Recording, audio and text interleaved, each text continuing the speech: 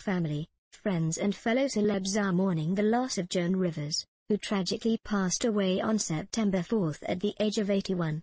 Take a look back at her life in pictures. Joan Rivers was a trailblazer for women in the comedy world. The sharp-tongued and hilarious petite star always managed to bring the laughs.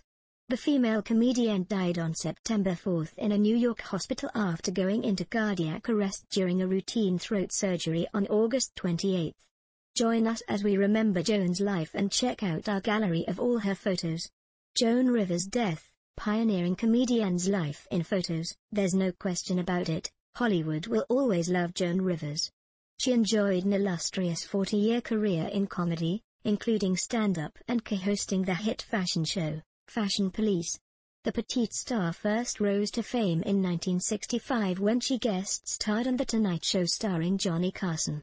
The show allowed her to show off her comedic style.